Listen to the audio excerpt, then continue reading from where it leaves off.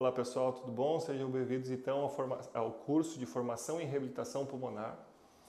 É um tema extremamente importante que tomou notoriedade nos últimos meses, no último ano que nós estamos vivendo, de a importância de nós, como fisioterapeutas, entendermos o processo de avaliação e reabilitação no paciente pneumopata. E esse curso visa isso. Né? Nós entendemos todo esse mecanismo, os princípios que norteiam um programa de reabilitação e quais são as indicações e os pacientes que nós podemos atender em nossos serviços. Então, como a literatura já traz, forma evidências muito significativas e importantes nesse tratamento, diz que reabilitação consiste em restaurar o indivíduo ao seu potencial clínico, mental, emocional, social e vocacional máximo que ele é capaz. Ou seja, um indivíduo que tem alguma doença um pneumopata crônico e que através da reabilitação nós conseguimos restabelecer esse paciente às suas atividades, às atividades laborais e sociais o máximo possível.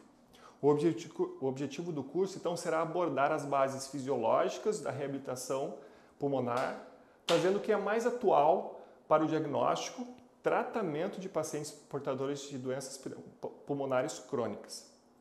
Após o curso, o fisioterapeuta será capaz, capaz então de elaborar um programa de tratamento para o indivíduo pneumopata crônico, seja ele com DPOC, doença pulmonar obstrutiva crônica, seja ele portador de fibrose cística, asma, fibrose pulmonar idiopática e o que nós estamos vendo também pós reabilitação, pós Covid-19. Né? Nós temos uma gama muito grande de indivíduos e pacientes acometidos desta, desta patologia. Meu nome é Luiz Felipe Freitas, eu possuo graduação de fisioterapia pela Universidade Fevale, né? mestrado e doutorado em ciências pneumológicas pela Universidade Federal do Rio Grande do Sul e especialista em fisioterapia respiratória pela Astrografia. Tenho uma experiência em trabalho com pacientes pneumopatas no pavilhão Pereira Filho, no, uh, no Hospital da Santa Casa, em Porto Alegre. E atualmente sou professor do curso de fisioterapia da Universidade Fevale, no âmbito de fisioterapia hospitalar, com ênfase em pneumologia, cardiologia e terapia intensiva. Sócio também proprietário da Pulmocore Reabilitação Cardiorrespiratória, onde é um serviço focado na especialização ou no tratamento de pacientes pneumopatas ou cardiopatas crônicos. O que, que nós vamos estudar, ou aprender, ou revisar neste curso? Então ele vai ser dividido em módulos, o primeiro módulo consiste em anatomia e fisiologia do sistema cardiorrespiratório, onde nós vamos ver da questão de anatomia do sistema cardiorrespiratório, fisiologia e também os mecanismos pulmonares de alteração da capacidade funcional. O módulo 2, nós vamos focar mais no conceito de programa, do que é um programa de reabilitação pulmonar, a epidemiologia aplicada à reabilitação pulmonar, o que, que nós temos de, de prevalência das principais doenças crônicas, aprender a questão da semiologia cardiorrespiratória, então como avaliar corretamente o sistema cardiorrespiratório, desde as, as suas particularidades, mecânica ventilatória, fluxos e volumes pulmonares, como também a avaliação funcional do pneumopata crônico. Nós sabemos que os pacientes que, que desenvolvem uma, uma pneumopatia crônica, eles têm repercussões funcionais muito importantes, levando ao, ao desenvolvimento de dispneia e limitação ventilatória e limitação durante o exercício. Então é bem importante que nós consigamos entender né, qual é esse mecanismo fisiopatológico das doenças. O módulo 3 vai ser focado basicamente na questão de avaliação, avaliação funcional através do teste de exercício cardiopulmonar, padrão ouro para tratamento, desculpa, padrão ouro para avaliação cardiorrespiratória, avaliação também e treinamento da musculatura periférica.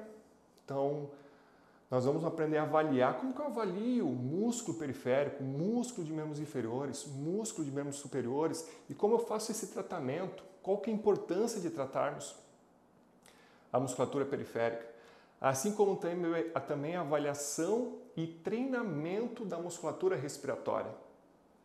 Nós sabemos que os pacientes eles desenvolvem alterações da musculatura inspiratória, o diafragma, muito precocemente. E avaliar e tratar, nós sabemos avaliar e tratar a musculatura respiratória é extremamente importante. E também a avaliação das atividades de vida diária. Como nós comentamos que o principal sintoma é a dispneia, a limitação na funcional, isso vai ter repercussões nas atividades de vida diária dos indivíduos. Como é que eu avalio isso? É. O módulo 4, nós vamos abordar as principais pneumopatias. Então, nós vamos falar de fibrose pulmonar idiopática, prevalência, avaliação e a reabilitação nesses indivíduos.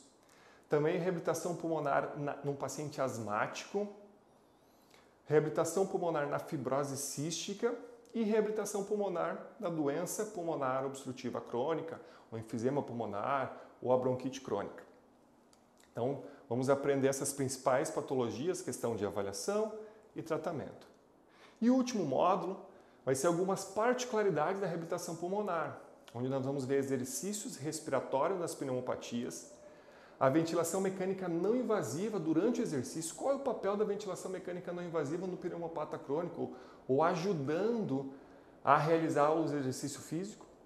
E também uma aula específica sobre reabilitação pulmonar pós-Covid-19.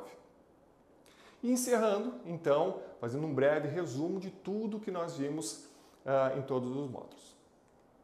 Fique conosco nesse, no transcorrer desse curso e que seja de bom proveito.